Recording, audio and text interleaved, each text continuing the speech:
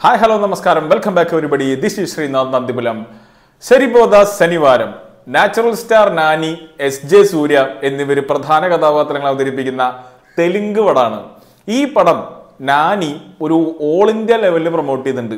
Hindi YouTube ചാനലിൽ മൂപ്പരെ കണ്ടിട്ടുണ്ട് തമിഴിൽ കണ്ടിട്ടുണ്ട് മലയാളത്തിലും കണ്ടിട്ടുണ്ട്. അങ്ങനെ നല്ല രീതിയിൽ പ്രൊമോഷൻ ചെയ്ത പടമാണ് മൂപ്പരുടെ ഈ പ്രൊമോഷൻ കാരനാണ് ഇങ്ങനെ ഒരു പടത്തിനെ പറ്റി ഞാൻ കൂടുതൽ അറിഞ്ഞതും ഇത് കാണാൻ പോയതും. അപ്പോൾ നന്നായിട്ട് പ്രൊമോട്ട് ചെയ്ത ആൾക്കാർ പടത്തിന് കയറും എന്നുള്ള കാര്യം എല്ലാവരും ഒന്ന് മനസ്സിലാക്കണം നല്ലതായിരിക്കും ഇത് ഒരു സാധാരണ ടെംപ്ലേറ്റ് തെലുങ്ക് മസാല പടം തന്നെയാണ്. അതായത് അടി ഇട്ടി വെട്ട് പരിപാടികളൊക്കെ തന്നെ.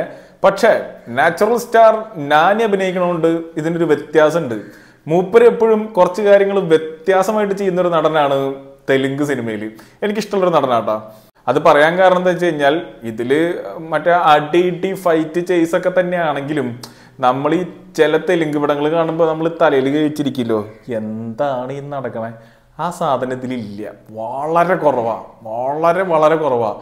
ഒരു ഓർഗാനിക് നേച്ചർ ഉണ്ട് കാര്യങ്ങൾ സംഭവിക്കുന്നതിലും ഫൈറ്റിലും എല്ലാം. അതായത് ഞാൻ ഈ ആൾക്കാരെ അടിക്കുമ്പോൾ അവർ തെറിച്ച് പോണില്ല എന്നല്ല എന്നാലും അത് കുറേയൊക്കെ ബിലീവബിൾ ആണ്. അങ്ങനെ നല്ല രസത്തിൽ കണ്ടിരിക്കാൻ പറ്റുന്ന ഒരു പടമാണ് എന്നാൽ ഇതിന്റെ സ്ക്രിപ്റ്റ് എന്താ പറയുക ഭയങ്കര വെറൈറ്റി ആവാൻ ശ്രമിച്ചിട്ടുണ്ട്.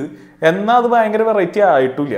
അതായത് കുറച്ച് പുരോഗമനം അങ്ങനത്തെ കാര്യങ്ങളൊക്കെ ഇതിൽ കൊണ്ടുവന്നുണ്ട് അടുക്കളയിൽ കുക്ക് ചെയ്യണ ഒരു പെൺകുട്ടിയോട് നീ അടുക്കളയിൽ കുക്ക് ചെയ്യണത് നിന്റെ ഒരു ലെസൺ മാത്രമാണ് അല്ലാണ്ട് നിന്റെ ജീവിതത്തിന്റെ ബാക്കിയുള്ള കാര്യങ്ങളൊന്നല്ല എന്നൊക്കെ പറയുന്ന ഒരു പടമാണെങ്കിലും ഏറ്റവും അവസാനം വില്ലൻ അല്ല നായകൻ വന്ന് വില്ലനെ അടിച്ച് എല്ലാവരും രക്ഷിക്കണ പടം തന്നെയാണ് ഇത് സംഭവം പടത്തിലെ ഹീറോ നാനിയാണെങ്കിലും ഇതിൽ പൊളിച്ചടക്കിക്കണത് എസ് ജസൂരിയാണ് സൂര്യാണ് എസ് ജെ സൂര്യ വില്ലൻ ചെയ്യുക എന്ന് പറയുമ്പോൾ തന്നെ പടത്തിന്റെ ഒരു ലെവൽ അങ്ങോട്ട് കയറി കാരണം നമുക്ക് ഉറപ്പാണ് എപ്പോഴും നായകന്റെ മുകളിലായിരിക്കും വില്ലൻ നിൽക്കുക എന്നുള്ളത്.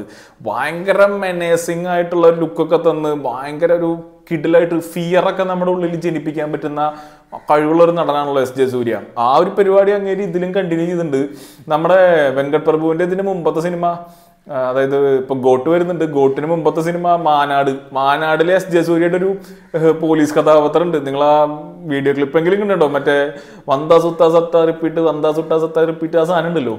ആ പോലീസുകാരന്റെ ഒരു പ്രേതം ഈ- പടത്തിൽ ഇങ്ങനെ ക്യാരക്ടറിനുണ്ട് എനിക്ക് ചില സമയത്തൊക്കെ ആ ക്യാരക്ടർ ഓർമ്മ വന്നു.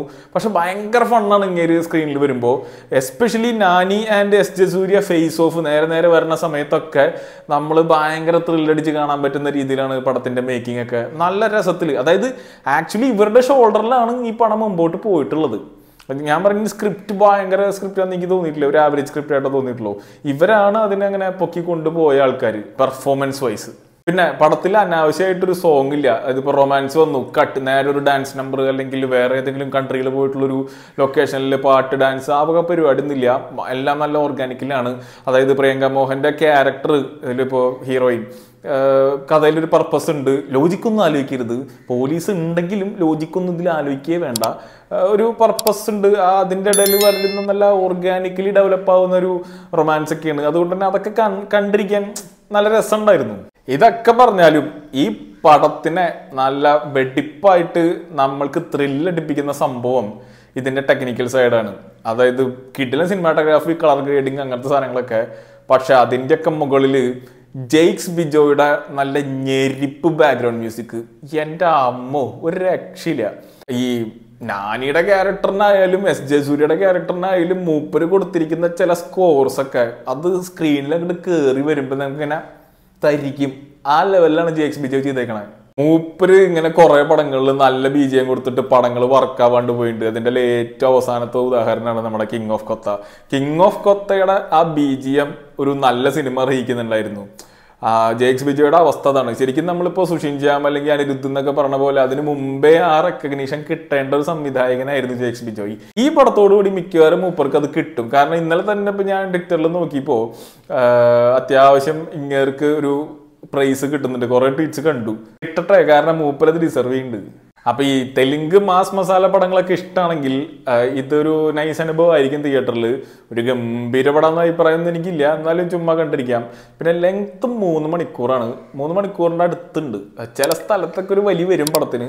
എന്നാലും അവരത് തിരിച്ച് പിക്കപ്പ് ചെയ്യുന്നുണ്ട് കേട്ടോ പല സമയത്തും. അത് കാരണം വലിയ കുഴപ്പമില്ലാണ്ട് കണ്ടിരിക്കാം. ചിരിക്കാനൊക്കെ ഉണ്ട് ത്രില്ലടിക്കാനും ഉണ്ട്. ചില സമയത്ത് ബോറടിക്കാനുണ്ട് എന്നാലും കണ്ടിരിക്കാൻ പറ്റുന്ന ഒരു പടം. അടുത്ത പടത്തിന്റെ വിശേഷമൊക്കെ ആയിട്ട് വരാം. അപ്പൊ കാണാം.